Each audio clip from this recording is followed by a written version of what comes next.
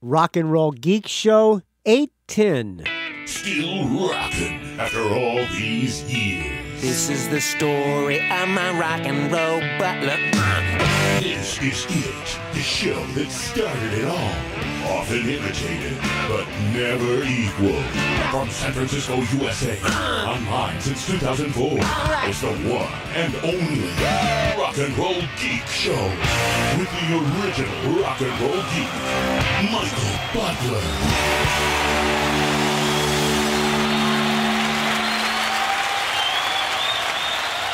Welcome to the Rock and Roll Geek Show. My name's Michael Butler. Thanks a lot for joining me. I really appreciate it. Today is Friday, November 3rd, 2017, and it's 7 11 p.m. when I'm recording this episode. It has been a long, long time since I've actually just sat in the, in the closet sized studio and spun some tunes and just talked to you, my friends.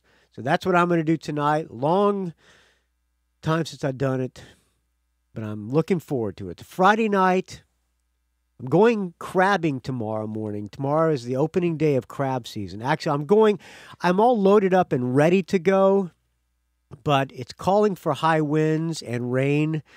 I'm going to get up at the at probably about four in the morning, um, pile in my car. Everything's all loaded up, ready to go, and I'm going to drive down to Half Moon Bay. And if it's not too windy, I'm going to join hopefully a bunch of other kayakers. I'm going to go out and try to catch some Dungeness crab. It's the opening day of crab season. It's a tradition.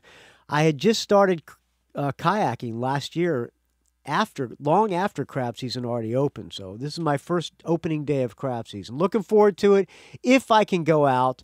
But tonight I'm looking forward to sitting here drinking some beers, which I will take a sip of this fine Tecate now. Ah, Second one of the day. Oh boy, that is that always the best. All right. Looking forward to sitting here, drinking some Tecates, spinning some tunes, and maybe playing a couple audio comments and reading your emails. Just like old times, friends.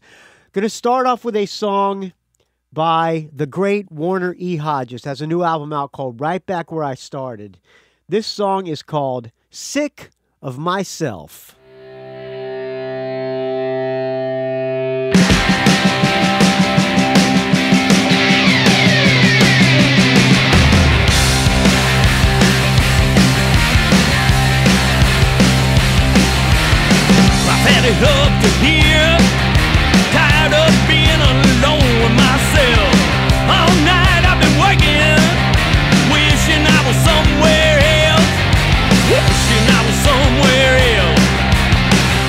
was having fun.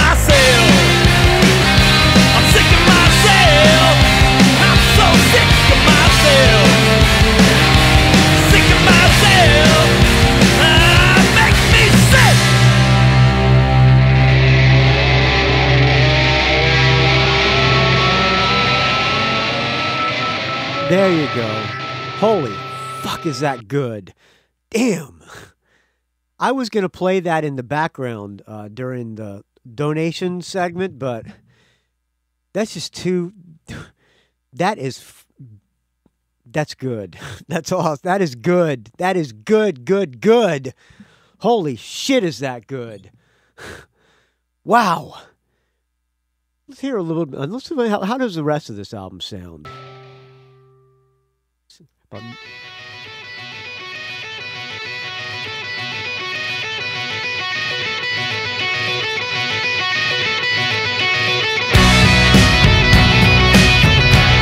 Yeah, this album is good. Might be in my top 10 this year, friends. Warner E. Hodges, right back where I started. All right. Speaking of the donation segment, thank you to everybody who donated to the Rock and Roll Geek Show. Your donations keep this show alive. Without your donations, this show would be dead in the water. Putridly. All right. There are several ways you can donate to the show. One, if you don't have any money and don't want to donate anything, you can just go to rockandrollgeek.com and click the Amazon link, and then it'll take you to Amazon. You buy anything you're going to buy anyway. I'll get a little kickback. And that's a way to support the show and be a cheap ass and not have to pay a thing. But if you think the show is worth something and you feel like donating some money, maybe the show is worth a dollar to you.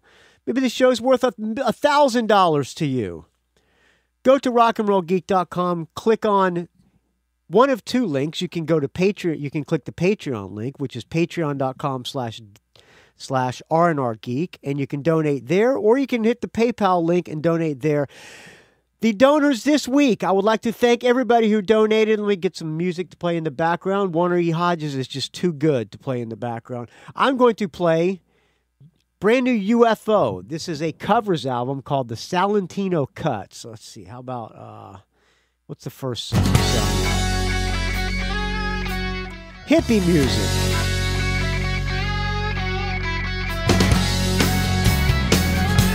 That sucks. That's pretty that's pretty pretty bad. How about uh they're doing a they're doing Montrose song. How's this sound? All right, that's good. You can go to patreon.com slash Geek like Daniel Segan did. Every episode that I put on Patreon, he donates $5 to.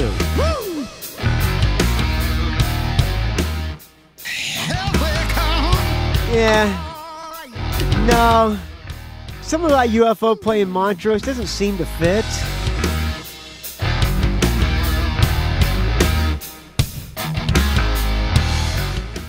Thank you to Michael Street, who donates $5 every episode. By the way, Michael Street did an episode with me at the Rock and Pod Expo. I'm going to post that this week. I have been holding back from posting that episode because uh,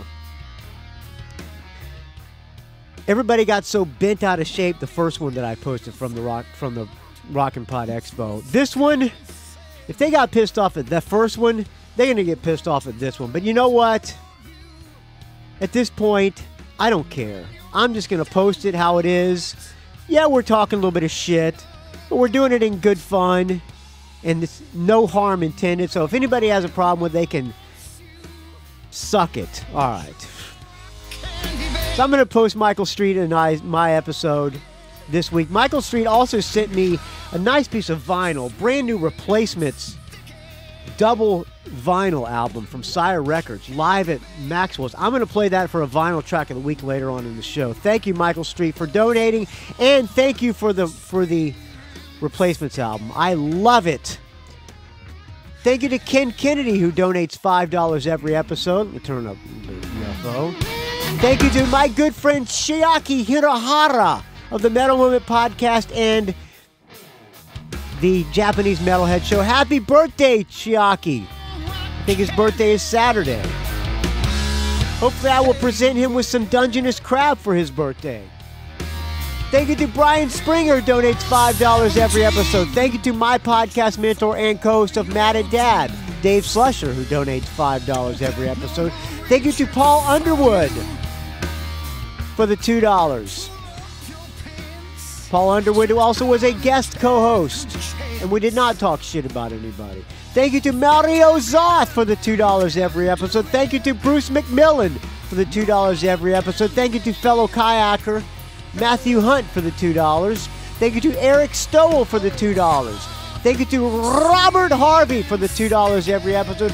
Thank you to brand new donor Bonstone for the $1 every episode. Thanks to Mike Dixon, $1 every episode. Thanks to Jon Richardson for $1 every episode. And finally, thanks to Corey Koehler for the $1 every episode. Thanks to the people who donated on PayPal. First of all, let me take a sip of this fine Tecate to everybody who donated on the Patreon. Ah! PayPal donors, thanks to Douglas Free for the two dollars for the twenty dollars. Thanks to my first girlfriend ever, Alodie Johns, for the twenty dollars. Thank you to Paul Fonderie for the ten dollars. Thank you to Cheri and Jeff Thielilicky for the five for the ten dollars. Thanks to Dave Frank. My glasses are fogged up. I can't read. I'm gonna clean these things off for a second here. Oh, that's no better. It's even worse. Don't clean your glasses with dirty a dirty shirt. Thanks to Dave Franco for the $10. Thanks to James Venners for the $10. Thanks to Jason Shepard for the $10. Thanks to friend of the show and friend of mine, Todd Cunningham, for the $10. What else we have here? About uh, Robin Trower song. Let's hear how this sounds. Telling you, it's Vinnie Moore who kills it. And not in a good way. Yes, he's a ripping guitar player, but man, it's not UFO.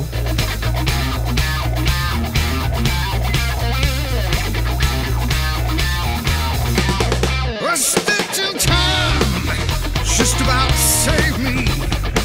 Phil Mogg sings this pretty good.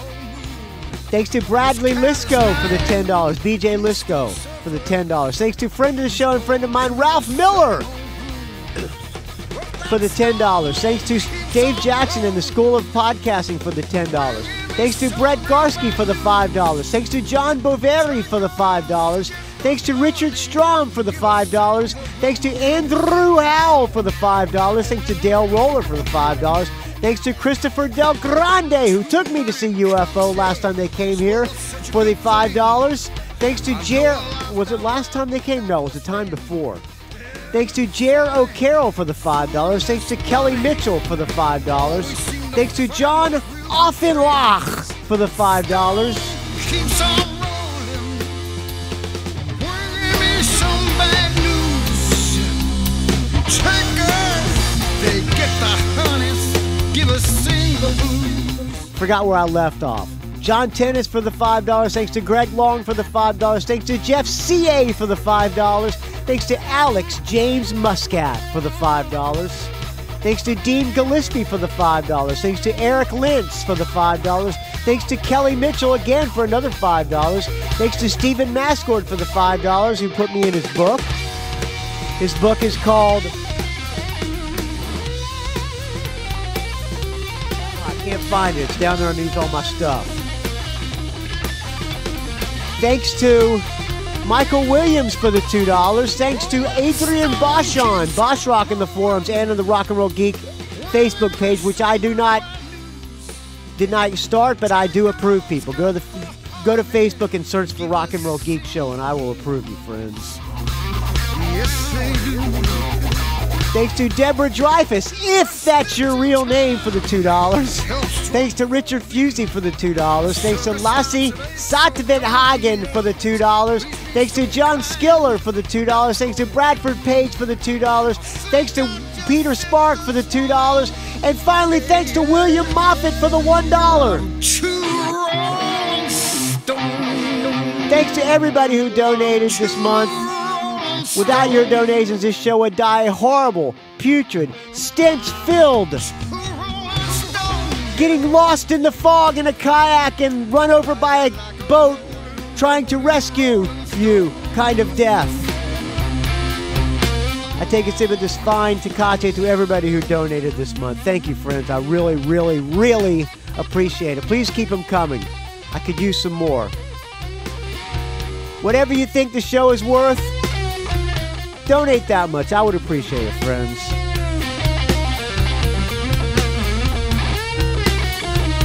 I also got a piece of mail here.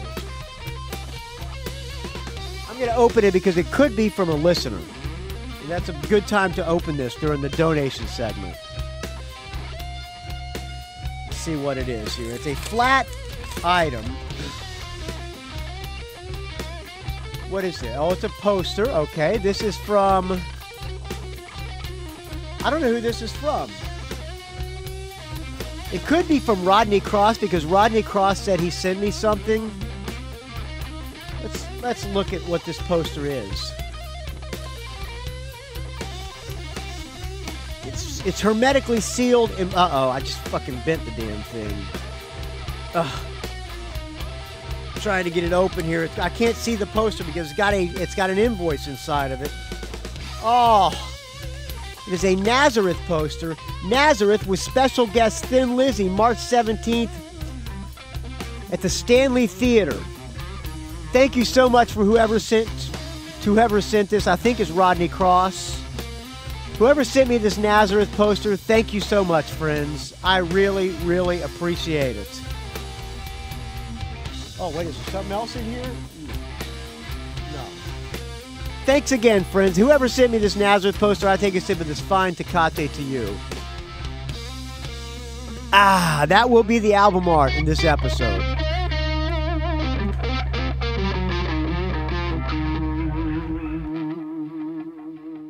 All right. I got a couple of audio comments. Let me see what, if I can find them here. How about this? Man, today's been a cool day. Seen a lot of familiar faces out there. Kind of like that. Hello, Michael Butler. It's Eric, the rock and roll plebe. Hey, Eric. a quick show review of Tom Keifer Oh. from the band Cinderella. Tom Keifer rushed to the hospital during a show, I think. I think he had a heart attack or something. Not a huge Tom Keifer fan. Casey, my friend, is a big, huge Cinderella and Tom Keifer fan. Pardon me, I'm bourbon up this fine Tecate.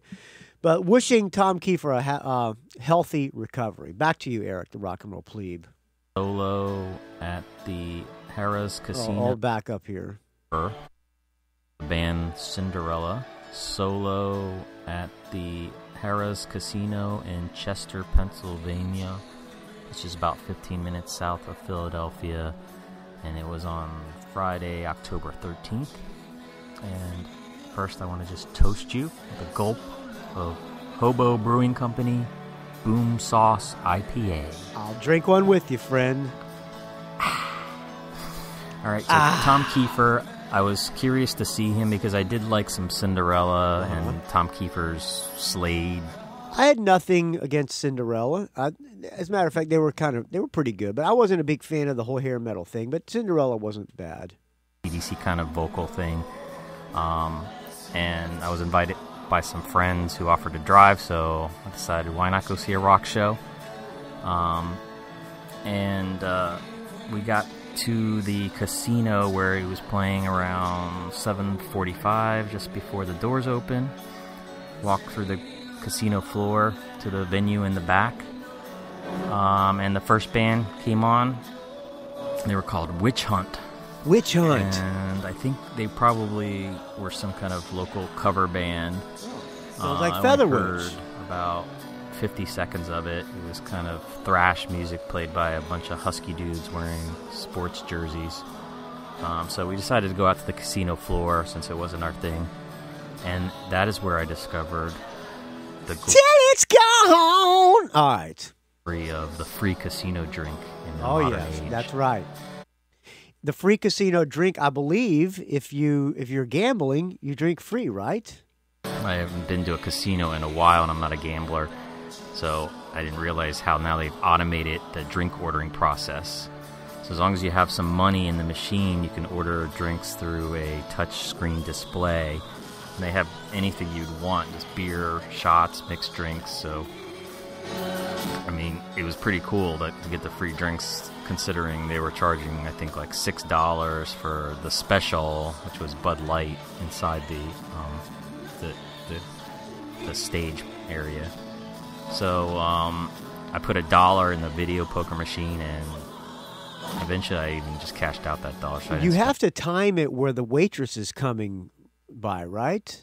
anything other than some tips. So just drinking whiskey sours and Amaretto sours and beer and everything. So that that was that was pretty cool. Um, so at some point we went back in, and the second band on the bill was finishing up. They were called Mach 22. They were kind of a modern hard rock kind of sounding band. Uh, didn't really care for them either. Um, the only and the only thing really I I could note about them is that their guitar player uh, is the son of the guitar player from Cinderella. So Huh. I just think it's interesting that Maybe they're Tom touring Keifer has the son of his former band opening up for him, but I guess he doesn't really want to tour with uh, Jeff LaBar, his former guitar player. But um, so after Mach 22, Tom Keifer came out. Um, the venue could probably hold, I would say, 750 to 1,000 people, and I'd say it was about half to two thirds full. So I guess it was Not a bad. decent crowd for him. Not bad. Um, American Well, Heartbreak was American. I think American Heartbreak opened for um, Cinderella in San Francisco at a club called the Pound, and I believe it was sold out. There was probably a good five or six hundred people there. the songs, I know you probably don't know them, and I wasn't even really paying close attention after all I know that. some of them. uh, casino drink. So, uh, though I, I did enjoy the show, but he, he probably played for about an hour and 15 minutes, I think, maybe up 14, 15 songs. Uh, he played about three or four or five of his solo album tunes, and the rest were the Cinderella songs, uh, night songs, Shake Me, Shake uh, me any way you want. All right, Road, Nobody's Fool, nobody's fool. And like I don't know what you got till it's Don't know what you got till it's gone. on his, the big ballad. Uh, on that song, he brought his wife out on stage to sing I'm gonna bring out my wife to sing the hit. him, and he invited the Philadelphia crowd to turn on their cell phones like lighters. Turn your cell phones on like lighters. At the end of the show, they did a cover of the Stones' "Tumbling Dice." Call me the tum, call me the tumbling die. Kind of cool. And also, I think they finished up with a really not needed, kind of lame to me cover of "Little Help from My Friends" from the Beatles. what would you Uh, do if I sang out of tune? What else? Uh, sound wise, I don't really care for this venue at the Harrah's Casino in Chester, PA. The sound's kind of muddy. Performance wise, though, it was alright. I had fun. Tom Keifer Good, that's what it's know, all he looks about. like a rock guy. He's keeping himself in Still shape. looks good. He's got that whatever Aerosmith, whatever look that he's trying to copy. Um, vocally, he was okay. I think he had his guitar player and a couple Casey and I went to see um, Poison and Cinderella. It was Poison, Cinderella, and Whitesnake, I believe. Cinderella opened, and um, Tom Keifer lost his voice during the show. He he couldn't sing. He was like, I don't know. He just lost it halfway through the set. He lost his voice. And one notable thing, uh, they had a big, you know, that big, huge Cinderella logo backdrop. They dropped the backdrop, like the backdrop drops, and another backdrop is behind it. So the Cinderella logo falls down. There's another logo behind it. It's the exact same backdrop. We got a, quite a laugh out of that, but uh, yeah, Tom Keifer lost his voice during the Cinderella show. I believe at that point, and when Poison came on, uh, the bass player and Bret Michaels both got into a fist fight on stage. back row singers kind of handling the high parts. Um, and on bass, I'd really like to see someone like a Michael Butler on bass because the I guy would do playing it. it, kind of looked a little douchey to me. I have a pet peeve where you see guys in bands who wear those like tiny, they're too small for their head fedora hats, and he was kind of wearing one of those and it was kind of lame. So, any- how about any fedora hat? uh, I don't know. I, I wish the Butlers or Featherwitch would come and do an East Coast tour. Hey, get a club to invite us, and we will we will be there, friend. I don't know. So th- th- that's it. Uh, it was a fun night. Uh, free drinks, casino. It was fun, and uh, until next time, Michael Butler. Thanks a lot. All right, thanks, Rock and Roll Plebe. Rock and Roll Plebe. You too can leave a show review or audio comment.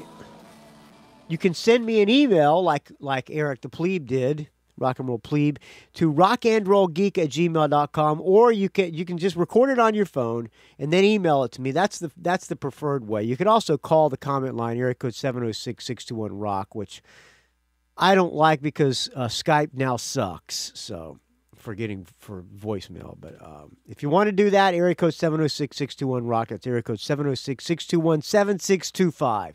Thanks, Eric Rock and Roll Plebe. I really appreciate it, friend. I'd go see Tom Keifer solo, especially if it was for free. All right, let's play another song. How about, let me, find my playlist here. Uh, Jesper Binzer from DAD has a solo album coming out, and the songs that I've heard, I really like a lot. I love this guy's voice and I'm really looking forward to this album. This the, I don't know what the album's going to be called, but um, this song I'm going to play is called "Dying Is Easy, Rock and Roll Is Hard." I think that's the title of the album. Too.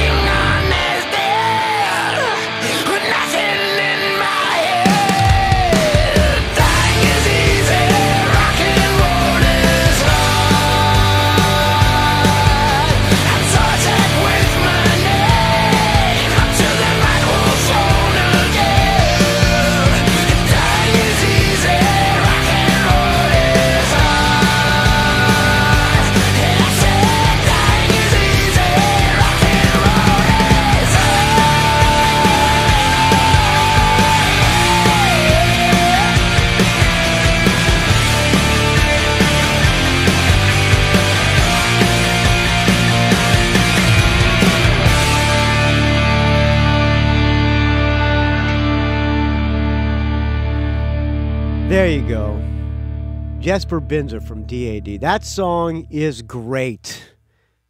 I hope that album comes out before the end of the year because that one, if the both the songs I have heard from that album sound really good. I just love his voice, and I'm a huge DAD fan, as you I'm sure you know. But um, can't wait for that album to come out. I'm looking on the Facebook. I put I usually post uh, that I'm preparing to pull a, a new show out of my ass, and I'm looking at some of the comments. Uh, Seth Massing wants a Darkness album review. I just now on on Pledge Music. I I pre-ordered this album on Pledge Music, and when it it's supposed to come out, it came out on October 6th.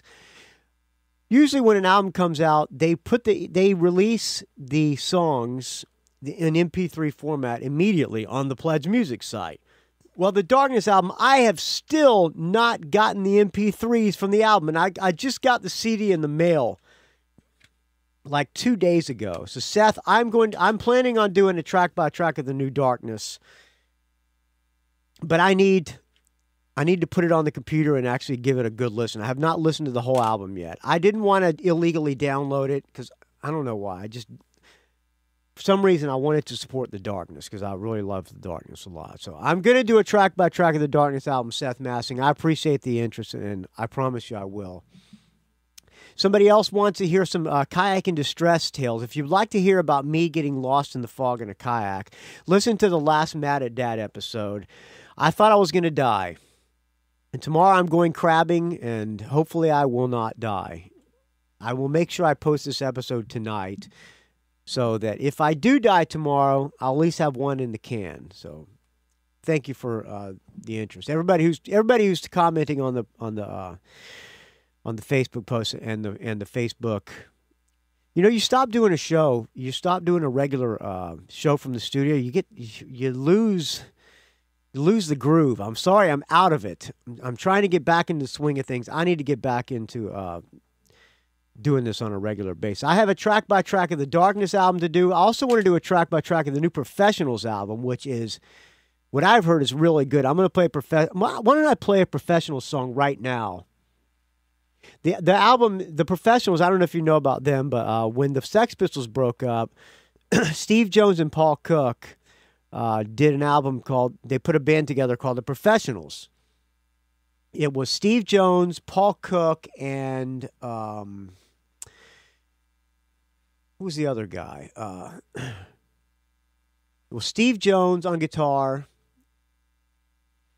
paul cook on drums who else was in the band? Andy Allen was on bass, I think. I I can't remember. can't remember. Uh, Andy Allen, Ray, and a guy named Ray McVeigh, I think, was on in the. Anyway, they put out an album called. I didn't see it coming. They did an album before that that never got released. It actually didn't. It, they re they finally released an album called The Professionals um, it was recorded in 1980. In 1981, I believe, uh, I didn't see it coming. Came out. The first album didn't get released until like 97 or something like that. So the al- the album I have is is I didn't see it coming. Great album, really great album.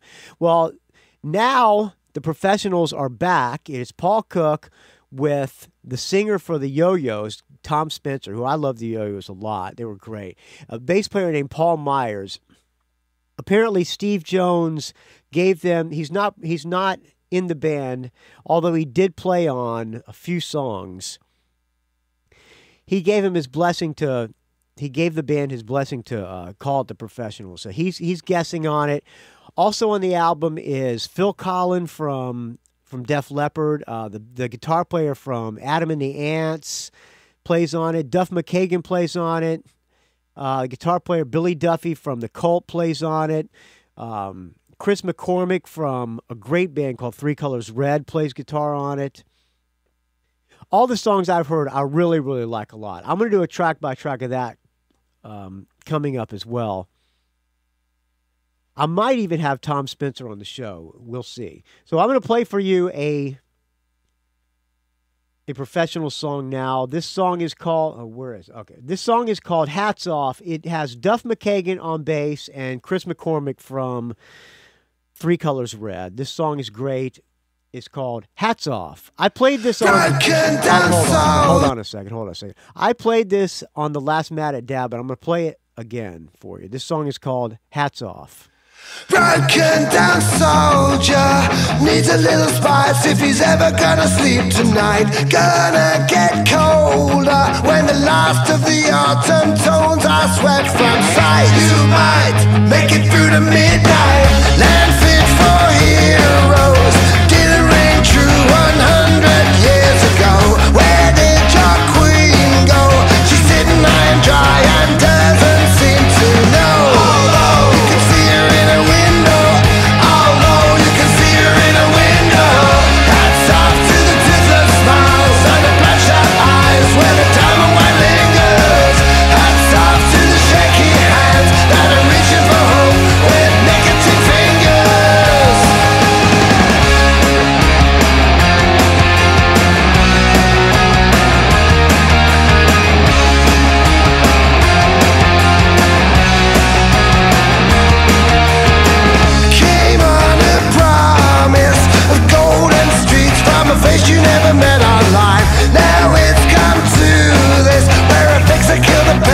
The tricks that stole your mind.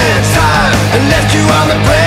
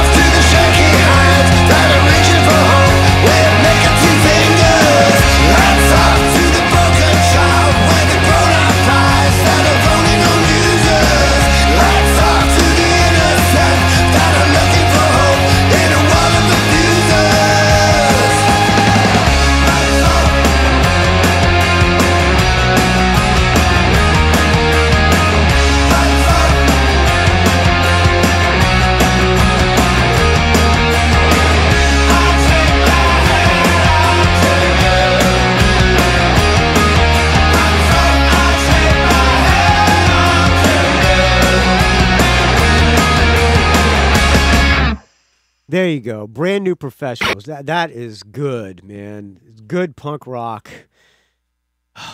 It's nice and nice and refreshing to hear something good. I'm I'm gonna do a track by track of that album coming up as well soon. All right, I got an email from Adam Brusha or Brusha. I'm not sure how to pronounce your last name, Adam, but uh, he said, "Hey, Michael, I've been listening. I've been hearing some buzz around the band called Greta Van Fleet. I ignored it until Alice Cooper brought them up. I checked out the four song EP and I loved it. They sound a lot like Led Zeppelin, and I know you're not a huge Zeppelin fan. Hold on, I'm, I'm pulling I'm pulling the band up on YouTube so that we can uh, listen to a little bit of Greta Van Fleet. All right, he says, um, um, start it over here. Bad production. I've been hearing some. Uh, pardon me, I'm burping. That's fine, Tecate. I've been hearing some buzz around the band Greta Van Fleet. I ignored it until Alice Cooper brought them up. I checked out their four song EP and I love it. They sound a lot like Led Zeppelin, and I know you're not a huge Zeppelin fan, but I'd like to know your thoughts. Even if it's not your cup of tea, it's cool to hear four young kids make this sound. Stay frosty, Adam. Adam, well, I'm glad you sent me this email. Thank you again. Rock and roll geek at gmail.com. every this band has a huge buzz, huge buzz. Uh, They're apparently they're selling out everywhere they played. I've heard I've heard them on Eddie Trunk's show, on on his Sirius show. I heard them on um, another volume show. Everybody thinks these guys are the savior of rock and roll. What do I think about Greta Van Fleet? Well, let's hear let's hear a little bit of Greta Van Fleet. This is their the single Highway Tune. This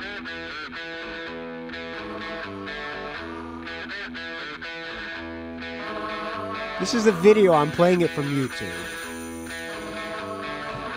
First of all, the bass player plays his bass really high, and he plays and he plays barefoot. The singer sounds a lot like sounds a lot like Robert Plant. But he's got short hair.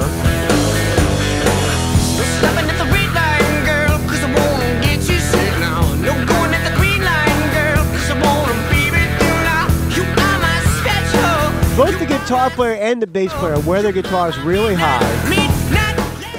The singer wears a ripped up t shirt, which looks kind of contrived to me.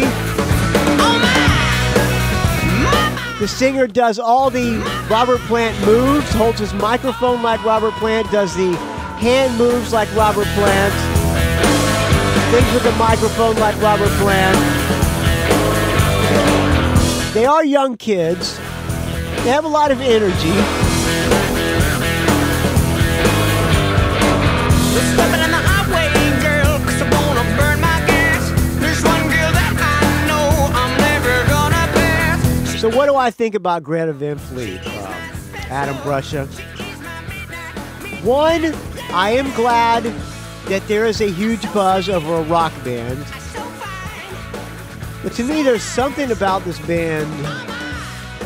Forget about the, the about the Led Zeppelin comparisons. I'm not a Led Zeppelin fan, and I don't think we need somebody who sounds exactly like Led Zeppelin. But put that aside.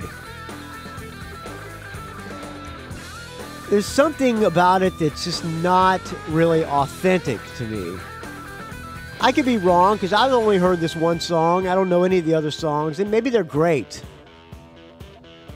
I hope they make it huge. But, eh, it's not really for me. Good luck to them. Glad to see kids playing rock. I'll stick with the darkness. But good luck to Greta Van Fleet. Not really my my cup of tea. I just think they lack a little authenticity. I don't think that they have enough of a rock and roll edge. They seem a little. They're good players. They look. They all look like they're like MIT kids or whatever you call it. Yeah, Musicians Institute of Technology kids or, Ber- or Berklee College of Music kids. Little virtuoso kids. Eh, I prefer a little bit more uh, what's the word? Sloppiness in my rock and roll, I guess. But good luck to Greta Van Fleet. I hope that answered your question, Adam Brusha or Brusha. I really appreciate the uh, email, friend. All right, here's another audio comment. Hey, Michael Butler. This is Chuck Spear, the Rock and Roll Hoosier, checking in from the Hey. UFO Saxon Jared James Nichols show in I, Merrillville, I saw the same tour. October 13th, 2017. So now we're in the car heading back home the morning after. Lots of ringing ears going on. Uh huh. Saxon were loud, right? So, obviously, show review time. UFO, Saxon, Jared James Nichols at the I missed Jared James Nichols. I got there a little bit late. Chris Del Grande and I went to see him, and I, we got there a little bit too late. The Jared James Nichols guy was done playing by the time we got there. to be defunct Star Plaza Theater in Merrillville, Indiana, which is a suburb there. of Chicago. I played, I played Merrillville, Indiana with uh, when I was in Exodus. We opened for Black Sabbath. It might have been the same venue. this place has been around since like the 70s, and they are shutting it down in December. It's a real shame. A lot of famous bands have played there. 3,400 seat Yeah, that's probably where we play. with a balcony. Seen quite a few shows there in my day. Most major bands that are medium level bands, either on their way up or or veteran bands, have played there numerous times. So, show started right at 7:30 with Jared James Nichols. Uh, this guy is really neat. He's uh, probably in his 30s. It's a three-piece band. He plays an Epiphone Les Paul, uh, and he plays without a guitar pick, which I thought is interesting. But he plays really heavy. Um, I would say his style is somewhere in the neighborhood of Ted Nugent meets Zakk Wylde. So kind of bluesy hard rock with a real edge. I heard he was good. His three-piece band is uh, Los Angeles based. He's from Wisconsin, but he moved out to LA like six years ago, which obviously you saw from the photo that I put on Facebook. I got to meet him afterwards and signed CD and all that kind of jazz. But uh, definitely a neat, uh, up and coming guy. He uh, his set was 35 minutes long, and he played not a lot off his debut CD, so he must be having a second CD come out. But uh, his set list was Last Chance, Don't Be Scared, Gone, Baby Can You Feel It, and then he broke out a uh, old wood grain Flying V and came out and said, "Here's an old classic for you," and started playing Stranglehold for Nice. nine minutes and totally demolishing Nice. it. And as you saw from the picture, it kind of all makes sense. He actually looks like a young Ted Nugent. Yes, he does. Long, kind of brownish hair, you know, kind of uh, uh, goatee and all that kind of jazz. So he's uh, uh, not a rip-off of Nugent for sure. He's a disciple that- of the Nuge. that kind of dynamic stage presence and stage raps and everything. Uh, then he Now, see, that to me is bands. They called Greta Van Fleet the savior of rock and roll. To me, bands like like this, what's his name, James Nichols? That's the savior of rock and roll. The Darkness, savior of rock and roll. Those are the guys who are carrying. Nothing against Greta Van Fleet. They just seem like something doesn't seem real about them to me. He ended up his set with End of Time, and he just basically took his guitar off at the end of his set. He promised the crowd that he would come out to the audience and go to the merch booth and sign stuff. So he literally took his guitar off, climbed down the steps at the front of the stage of the theater, and walked down the aisle signing stuff all along the way, and went straight from the stage up the aisle to the merch booth. So that's kind of interesting way of doing it, that's for sure. I hope he sold a few So shirts I went that met way. him, and he had a line of like 50, 100 people or so. Nice. So he went over really well. Um, the crowd itself, as I said, the theater holds like 3,400 people. Um, I Pro- can't believe there were 3,400 people there, right, Chuck Spear? I can't believe it. probably in the neighborhood of a thousand That's people. not bad. So it was Not probably about a third to a half full. Um, didn't expect a lot more than that. Uh, Chicago is obviously a very big stronghold for UFO, uh, but that's a large place for them to play. And of course, having Saxon along. Uh, but tickets were anywhere from like 40 bucks. And the tickets I had fifth row center were 125 a Well, they're pop. reserved. So Uh, we saw him at the Independent. It was a small club. It holds maybe 400. It was packed, but it was no reserved seats. You could just stand wherever you wanted. There was no seats. not everybody could afford it. Of course, everybody could afford their $9 beers, which there was probably, I would say, a net average of four to five beers drank by every person in that theater. I think so. They got a So, huge guarantee from Lots of drunk people walking around. Good. So, Chicago people are not afraid to get up in your face That's okay. and uh, And drink. Go towards the stage and interact with the band and get kicked out by security. It's always always amusing to go to a show around Chicago. Yeah. Um, We played when I was in Exodus. We opened. For, uh, we played Chicago with. Uh, well, we played Merrillville with Black Sabbath, like I said, but uh, we played Chicago with Body Count, and it was uh, quite the fun rock and roll crowd, to say the least. Came in after after maybe a 15 20 minute uh, switch over and they're still When we were in Merrillville, a guy came up and had a tat. I signed his arm or his some or his chest or something, or I don't know. I signed a part of his body, his back or something like that. And he came back to the Merrillville show with my autograph tattooed on his shoulder. Boy, I bet he regrets that now, man. Their latest album which came out a couple years ago called battering ram. So they had a backdrop that said battering ram on it. Their first song in their set was actually the title track battering ram. The uh, band pretty much consists of the same band they had for 20 plus years. Obviously biff byford on vocals as Is that how you pronounce it, Uh, Byford? has been for many, many years. Uh, Paul Quinn on guitar, original guitar player. Nigel Glockner back on drums. He was with them after Pete Gill, so uh, I think it was, I want to say it was after Denim and Leather is when he joined. So it was, uh, it might have been Power and the Glory or the album before that is when he joined. So he was part of the classic lineup, so he's back with them. And he had a really awesome kit, double bass, eight or ten Paiste cymbals.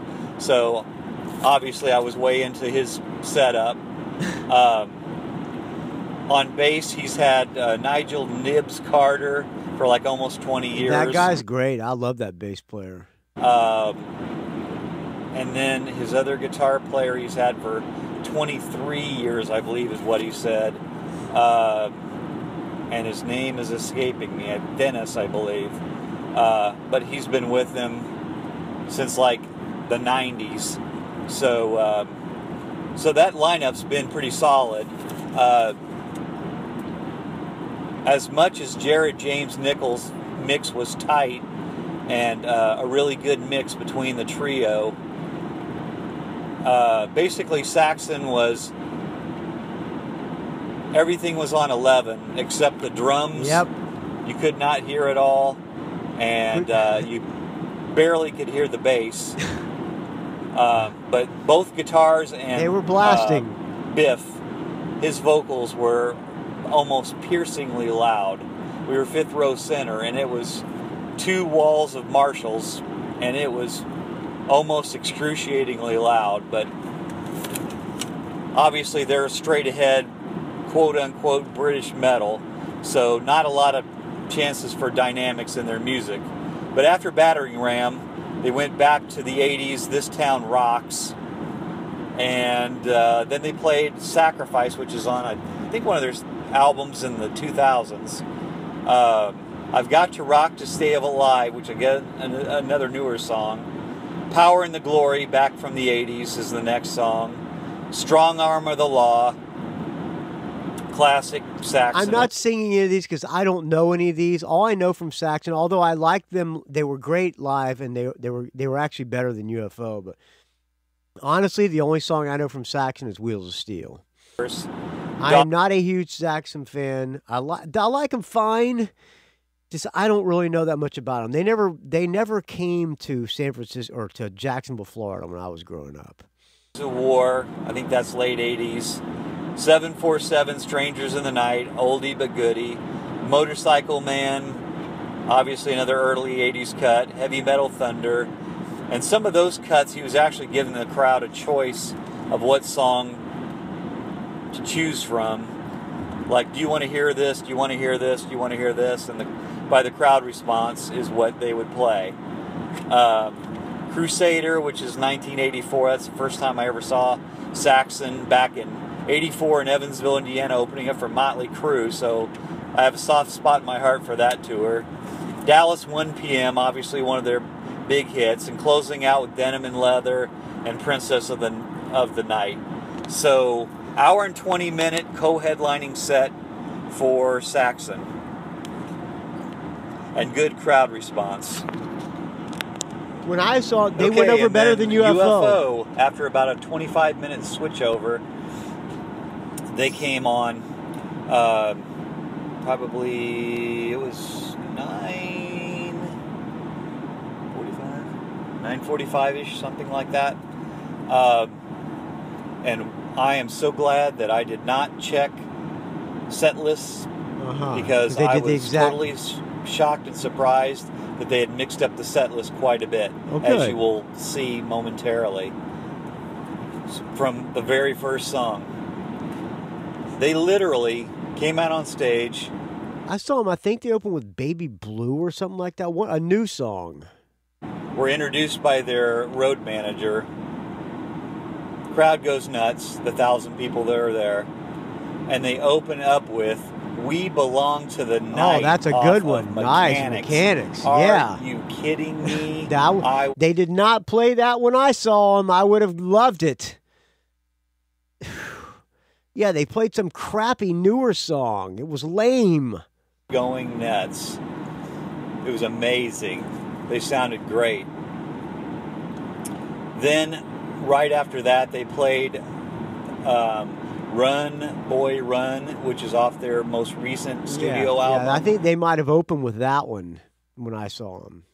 Conspiracy of Stars. Obviously, they have that new cover album out Yeah. that just came out a few weeks ago. Not good. Uh, luckily, they didn't really play anything off it Good. because I don't want to hear UFO covering anybody. No. I just want to hear their tunes. So other than other than something else, the song something else, which is on Mechanics, I think. Um, um, there's a couple of covers that they've done. Uh, um, Alone Again or is good, yeah, but yeah, I don't want to hear him playing uh, "Love Me Two Time, Babe." So We Belong to the Night opens up the show off of Mechanics. Amazing. Run Boy Run off of Conspiracy of Stars. Second song. Great song. Then third song introduced by Mr. A now totally bald headed Mr. Phil Mogg. Yes, yes. He comes up, bends down as he's known to do to look at the set list, and says, This is off the. and forgets what album it's off of. He goes, I think it's off of Obsession, Oh, nice. which he was right. Ain't No Baby That's off a of g- Obsession. oh yeah. They did not play that one when I saw them either. Son of a bitch. That's a good one, man. I ain't no baby. So we are uh, deep Shitting cut, your pants. deep yeah. cut, and deep cut. Why didn't they do that shit when we saw him? Chris Del Grande? songs into the set. So already the set is starting out amazing. Then from there, interesting, you know, they got to play some of the hits, but they put Lights Out in the four spot, which That's was great. fine. That's fine. Um, obviously, you know they're going to play it, but to play it that early in the set was very surprising. Um, then only you can rock me. Obviously, they're Uh, to nice, play. that's fine. So they did that pretty early in the set, even though it's one of my all-time favorites. Off of Obsession, which was my first UFO album, so I have a soft spot in my heart for that My first UFO album was Lights Out. all the time. And then I went back and bought Phenomenon and Force It and um, all those. Then uh, back to Conspiracy Heavy of Stars, their most recent. CD. Um, Burn Your House Down, Nah. which is a great ballad. It really is. And so the dynamics of that song uh, really broke up the set nicely. And then um, in between stage banter, obviously, is always hilarious with Mr. Mogg. Um, to introduce Cherry, he says, Here's a song. Uh, we were out on the road back in the 70s, and uh, Mr. Parker back there on drums met a young lady, a dancer, and and I don't know what happened that evening. And he goes into one of his vagaries, of course, and uh, says, "Yes, this is a song called Cherry." But meanwhile, Pete Way wrote the tune. And uh, halfway through the song, in the the part where uh, Rob DeLuca plays the the Pete Way bass part,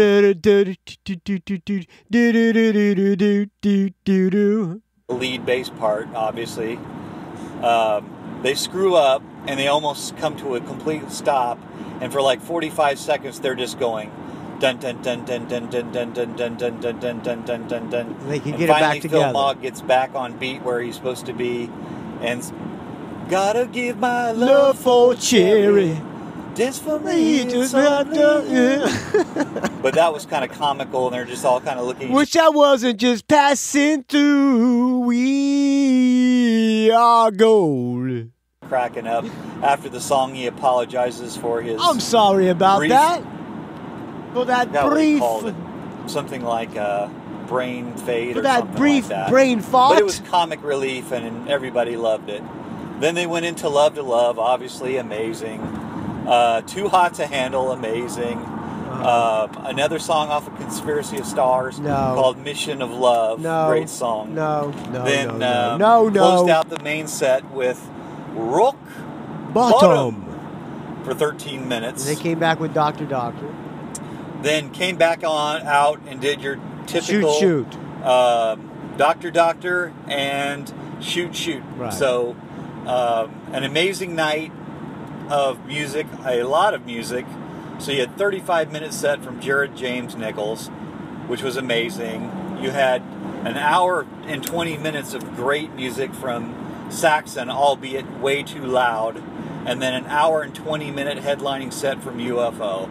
So I am feeling the effects of it on the way back home, but uh, great night of amazing classic rock and new rock. So anyway, hope it's all well, and uh, Mrs. Spear and I need to get out there and visit you and uh, Yes. have a uh, night of of uh, in studio requests and I'll make you. I'll make you and your wife dinner.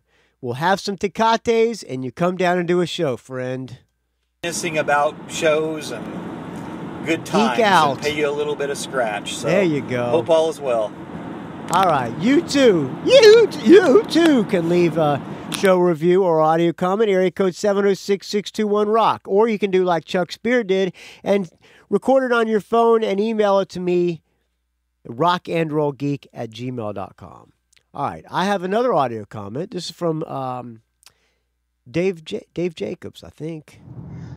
Hello, Michael, Dave, Jacobs, the Hey, rock Dave and roll Jacobs, Jew. rock and Long roll time Jew. no talk, man. How you doing? I'm super doing great. Couldn't be better. Super great. I could not be better. Yes. Um, I want to give you a quickie review. I just finished listening uh, an hour or so ago to the new Foo Fighters album. Okay. This this by the way, he sent this audio this been this is how long it's been since I've done an in studio rock and roll geek show. He sent this back. It's probably back in September, I think. All right, let me see if I can pull up the Foo Fighters so we can compare compare it together. Although I'm not a Foo Fighters fan, but uh, what's Concrete and Gold is what it's called. Okay, all right, back to you, Dave Jacobs. Concrete and Gold. I know you're not a fan, but I am, and I bet you there's some other rock and roll geeks that are fans. So I'm gonna give you a quick take on All this right, new all album. right.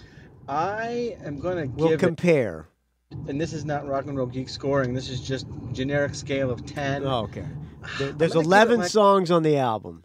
Six and a half, maybe seven out of That's ten. Uh, that's It's not all great. Right. It's all right. It's, yeah, it's, yeah, it's yeah.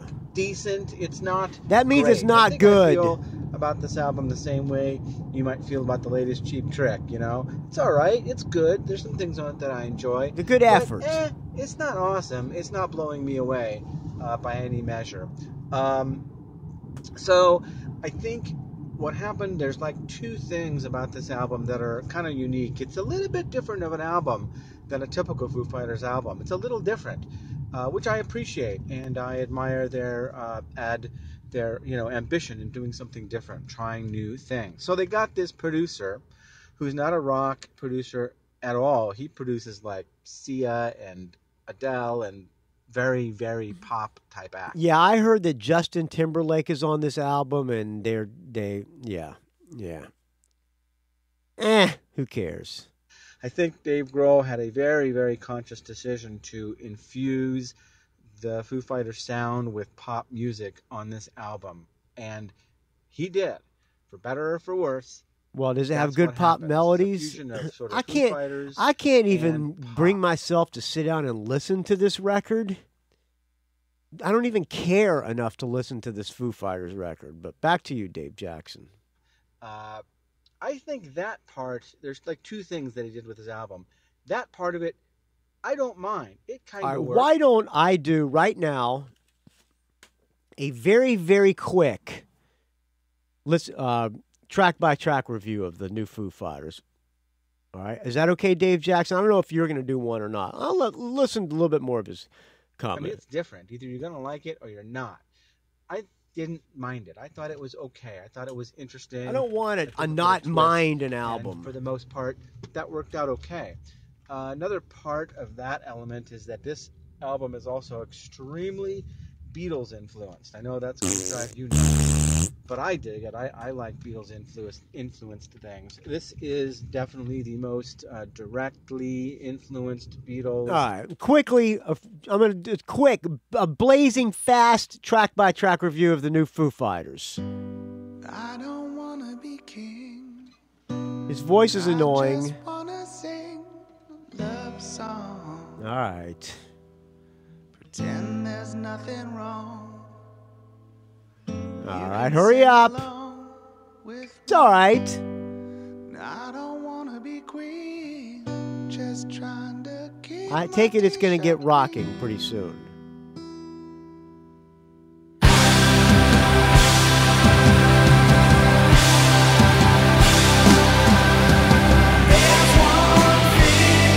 All right, I'll give that one a half. Next song, Run.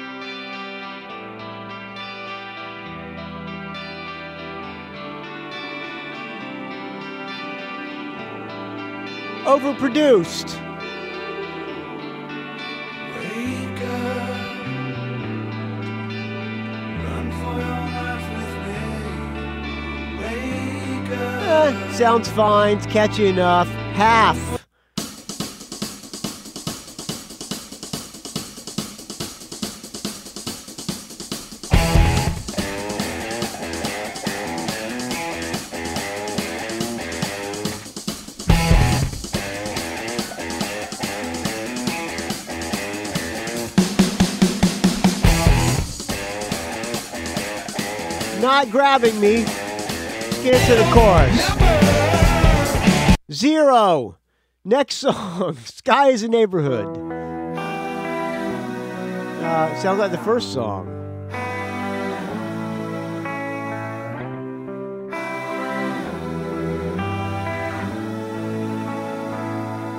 Sky is a neighborhood. Half. La di da.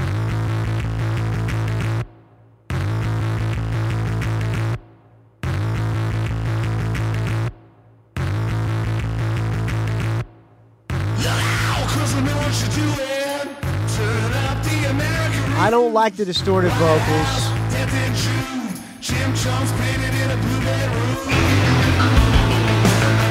Fast forward.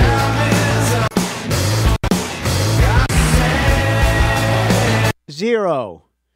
Next song, Dirty Water.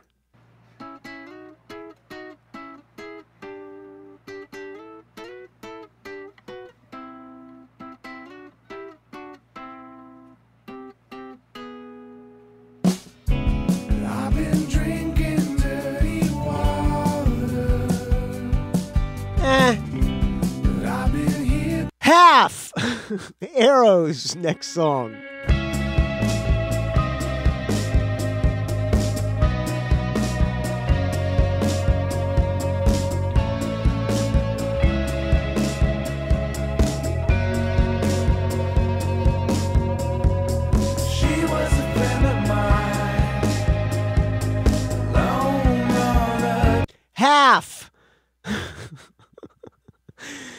I'm not giving it enough of a chance. I know. Mm. Happily ever after, zero after. Zero hour. Yeah. Very wings, trying to sound like wings or Paul McCartney solo. The weeds are swallowing This is not bad. Flower bed, roses in a whiskey jar, blood on the thorns. Drink until the taste is gone. Cracks in the floorboard are deep from dancing. All right, fast forward. Shangri-La now. Where is your Shangri-La now? Half. Sunday Rain.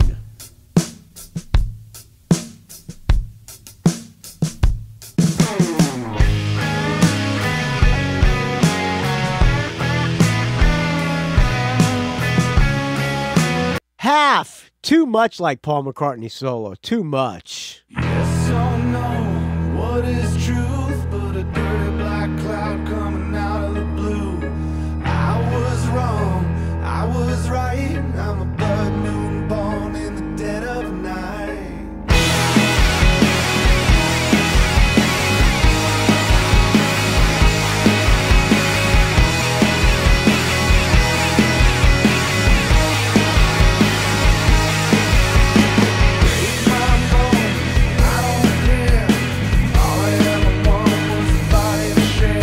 Half. Finally, concrete and gold. You lost your mind. Zero. All right, let's tally him up. One, two, three, four out of 11. There you go. All right, back to you, Dave Jackson. uh, the Four out of Fighters on any 11. album. I think this producer likes the Beatles. Um, Dave Paul McCartney. It's not how he Be- It's not the Beatles, uh, Dave Jackson. It's Paul McCartney solo. Paul McCartney and Wings or Paul McCartney solo. Very, very coming through on this album. So that's not. Beatles. It's Paul McCartney I solo. think for the most part, like I said, that part basically worked out okay. The part that didn't work out for me, and I think where this album really falls short, is in the second goal, Songs. which appears to be to make this a huge, massive, big, sonically sounding album. Nah. Uh, just over the top. I don't even know how to describe it. Just a massive, huge sound. Hey, why not? Uh, and I think on that uh, measure, that's where it kind of had problems because it's big, it's massive, it's sonically out of this world, but that doesn't always make for a good song. Some of these songs, I don't know if you can tell, but somebody sent me an email that I need to oil my chair here. I have not oiled my chair. I am aware of that. Okay, who has time to oil a chair? just don't uh, want a big sound. You know, you can't just bolt on a big. And how do you a oil a chair? Automatically make it better. Some songs are more adept to that, and some The songs are not. aren't great. They're, there's a couple of songs here. Production good, like Paul McCartney, but eh. it could have been a pretty okay song. they're not catchy. They're not. There's no good choruses. But then you bolt on this Although I didn't let him go to the, get to the chorus in defense of Dave Grohl. massive Would jet, I play bass for the Foo Fighters? Ah, yes. jet engine, way overblown sound, and it just kind of ruins the whole song and just way too much for me. So I think that's where the album sort of goes astray. He could have just reined it in a little bit. Not everything bigger is. There was better. a lot of hype about this album, and when Um, it came, when before it came songs, out, then though, when it finally say. came Uh, out, nobody is a seemed nobody seemed to really Uh, care.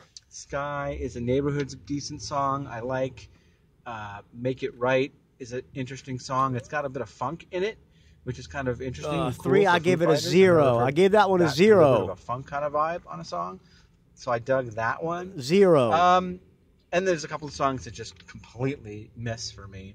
And then I think the one to really talk about is the title track at the uh, end.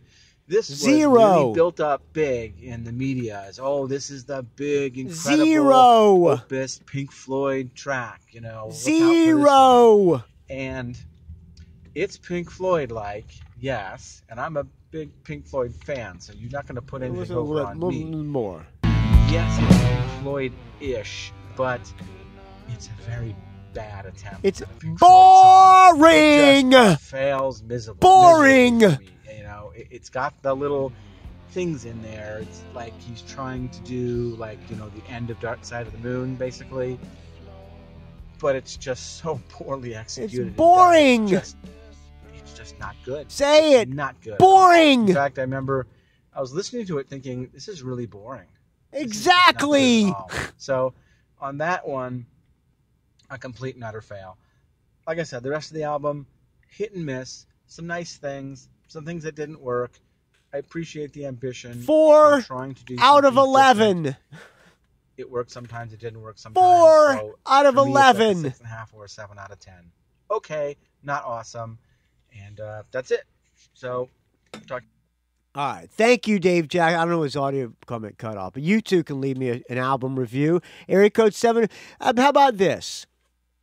Give me a track by track review of the New Darkness record, and we will do a Darkness track by track. And give me a track by track of the New Professionals record. We'll do a track by track of that as well. The New Professionals, What in the World? The New Darkness is called Pinewood Smile.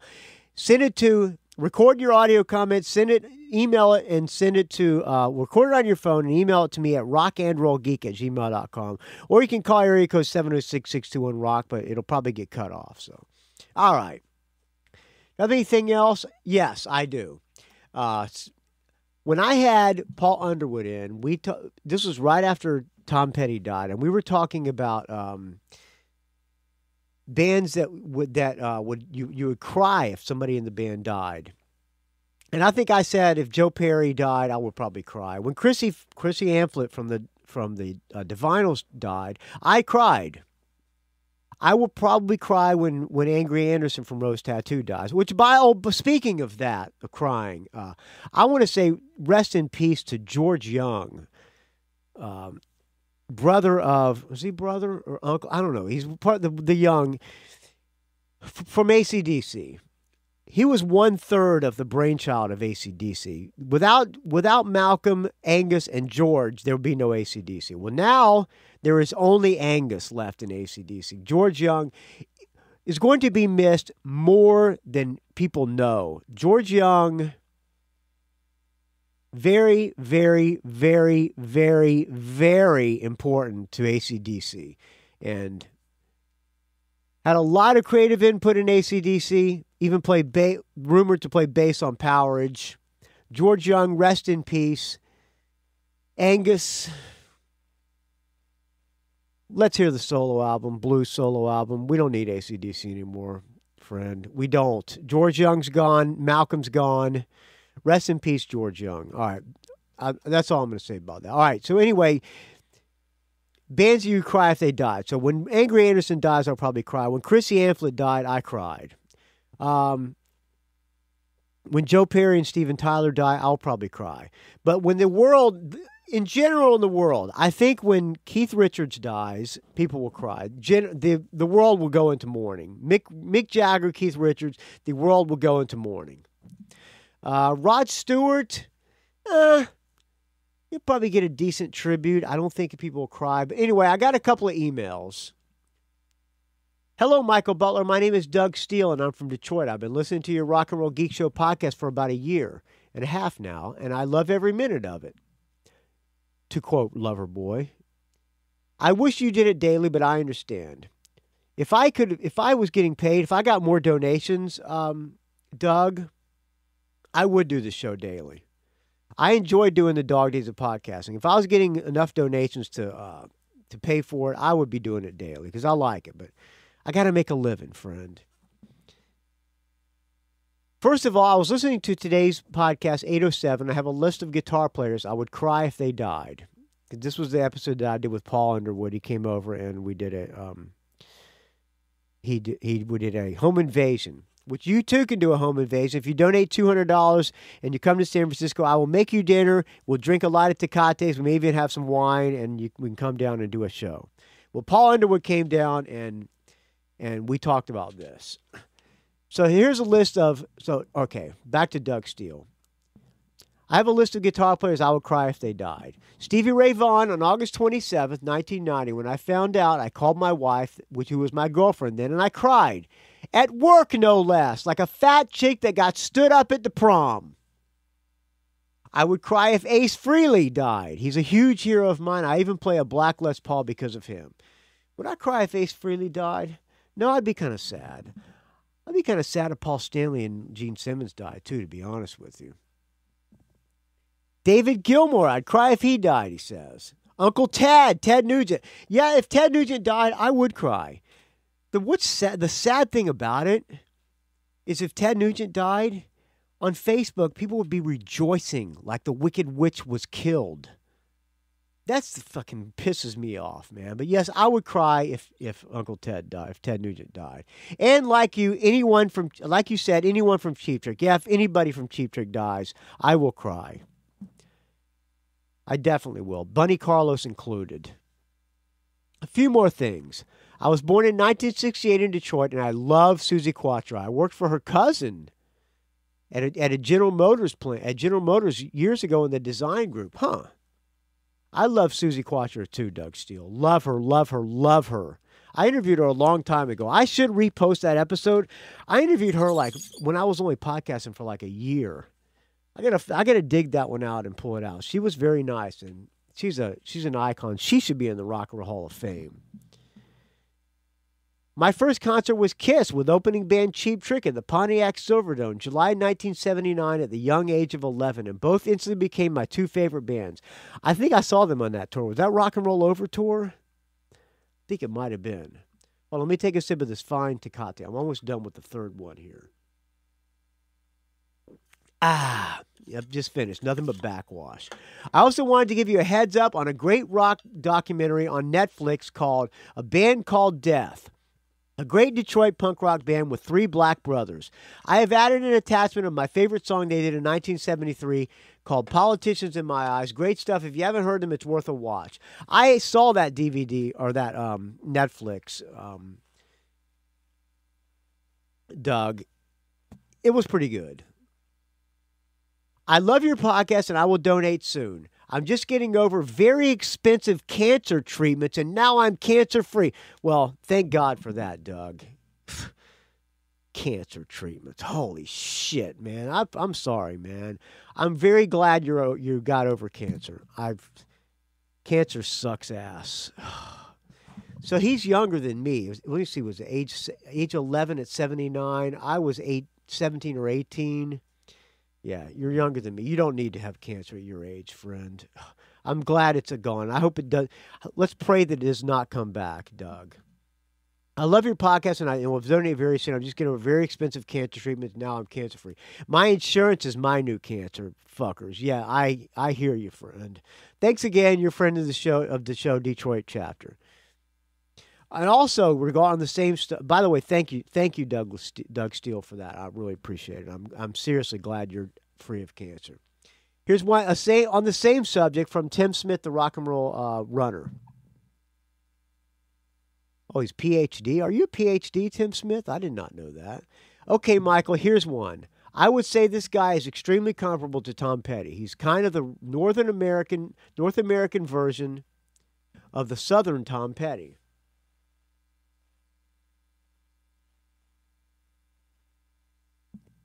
Everybody loves him. He wrote wonderful, very American sounding, catchy tunes. Just like Tom Petty, he had a backing band with a name.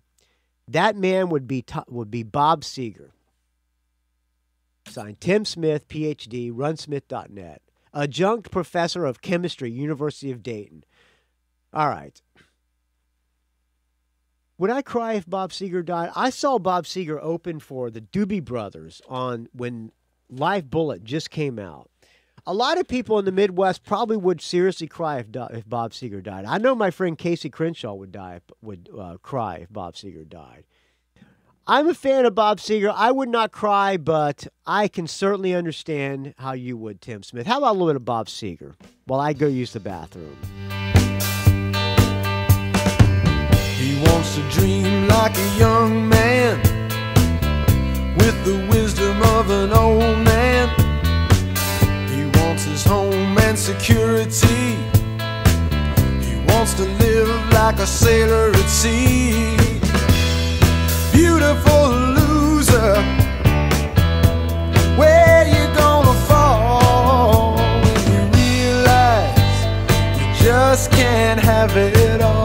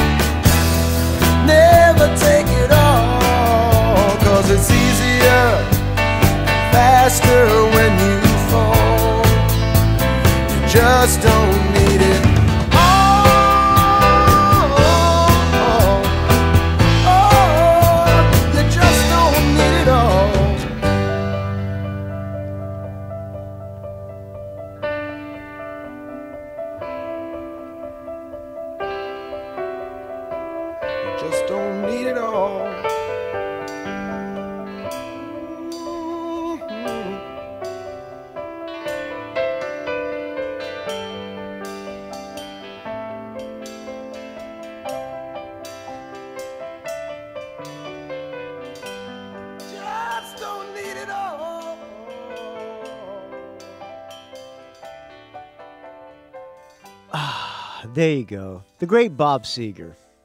I've not heard that song in a long time. Thanks, Tim Smith, for reminding me about that. All right, why don't we do a vinyl track of the week? Here we go. And now, it's time for the Rock and Roll Geek Vinyl Track of the Week.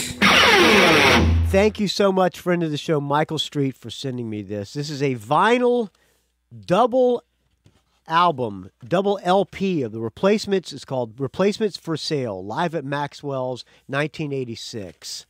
I believe I saw them on this tour. We uh, went to New York City with singer for Stevie Stiletto, Ray McKelvey, Ray, Ray, Stevie Ray Stiletto. We went and saw the replacements at Irving Plaza. I believe they played probably played around the same time as this. This is a great packaging, man. It's a double gatefold. I think it's 180 gram vinyl. It feels like I don't know what 180 gram is, but it feels like thick vinyl. It's on Sire Records. Folds out. On the front cover, it's got um, Paul Westerberg's beat up Les Paul, and it says "for sale" scratched into it. And on the back, it's got Tommy Stinson's Rickenback beat up Rickenbacker bass. You fold it out. It's got a bunch of live shots from them playing Maxwell's in Hoboken, New Jersey. Recorded in 19, 1986 when uh, Tim, I believe Tim had just come out. Thank you so much, Michael Michael uh, Street, for this. I really appreciate it. I'm going to play something from this. I'm going to play something from side B. It's a double album. I'm going to play a Kiss tune. They do they do Black Diamond. Here's the track listing on this album. Let me get talking to the microphone like a professional. They open it with Heyday, which is I believe is on um, Hootenanny. Then Color Me Impressed, Dose of Thunder. Then you do a cover of Fox on the Run, Hold My Life, which is uh, on um, Tim, I believe.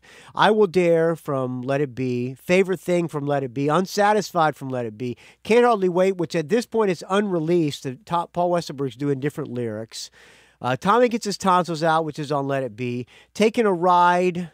Taking a Ride, is that, what's that on? Is that on Hootenanny? No, I think that's on. Um, uh, Sorry Ma, I don't remember. Bastards of Young from Tim. Kiss Me on the Bus from Tim. Black Diamond is on is on um, uh, Let It Be. Johnny's Gonna Die on Hootenanny, I believe. Otto, I don't know what Otto's from. I'm in trouble. Left of the dial. Goddamn job. Answer machine. Waitress in the sky. Take me down to the hospital. Gary's got a boner. If only you were lonely. Baby strange. Hitching a ride. Nowhere man. Go and fuck school. I'm gonna play the last song on side B, which is a Kiss tune, Black Diamond. Let me let me drop the needle here. See up. I just put the power off. Okay, here we go. All right. Thank you, Michael Street, for this once again. I really appreciate it, friend.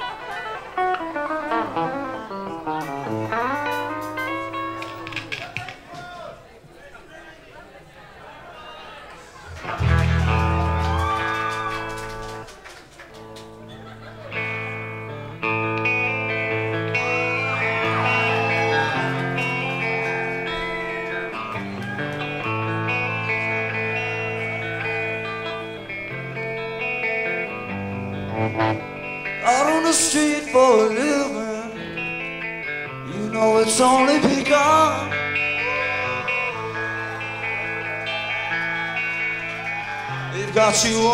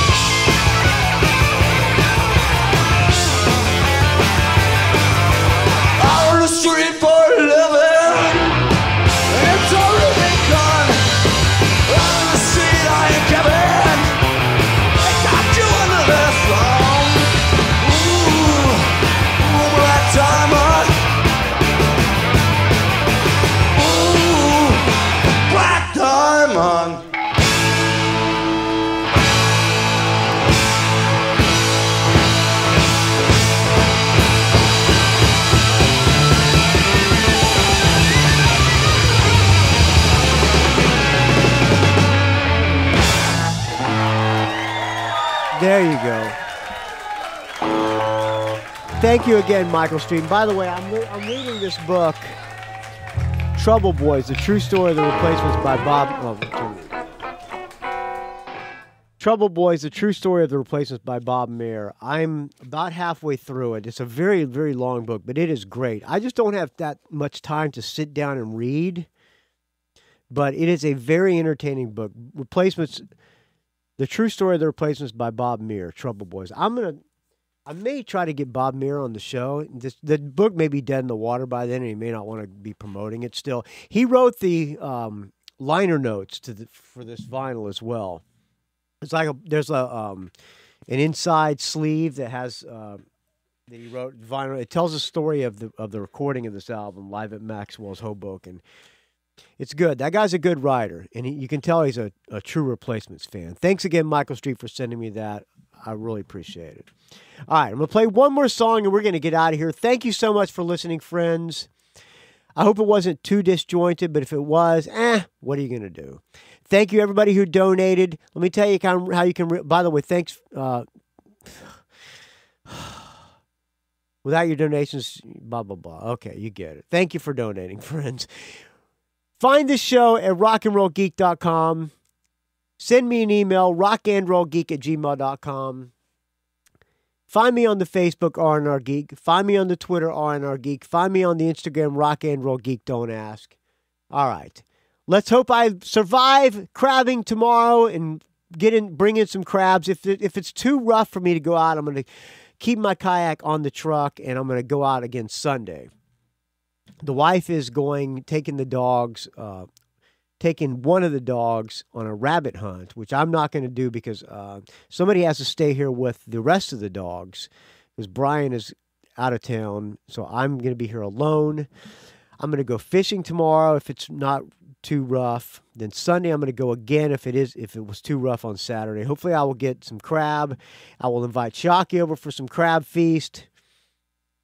And hopefully I'll survive. But just in case, I'm going to post this show tonight. Thank you for listening, friends. I really appreciate it. They can't all be professional. As a matter of fact, none of them will be professional, but I can promise you they are from my heart. And from my heart, I thank you for listening, friends. I really appreciate it. All right, I'm going to close out with a brand new song from Hardcore Superstar. They have an album coming out. I'm not sure when it's coming out, but this song was this song was released about a week ago. It's called Have Mercy on Me. Thanks for listening, friends. We will talk to you. Let's see.